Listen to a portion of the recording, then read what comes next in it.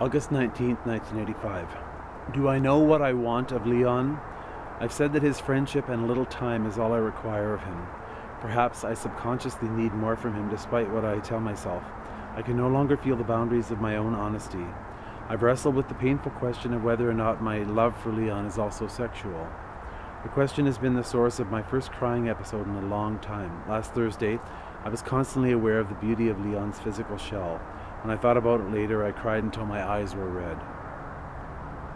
Beauty should never have to apologize for itself, and I must never apologize for admiring beauty. It is, however, the magnitude of Leon's spiritual side that makes him uniquely gifted.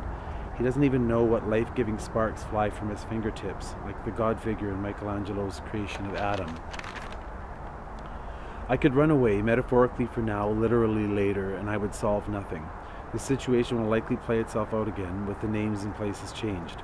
The difference between Leon and his friends seems unbridgeable, but bridged it is by Leon's humility. When time makes him bolder, as all of us children get older, Leon will likely know himself better and be less modest. It's not every day that someone inspires me to make a new world. It takes someone of Olympian stature. I don't know what I would have become, what would have become of me had I not met Leon in July of 1985. I suspect I may have starved to death.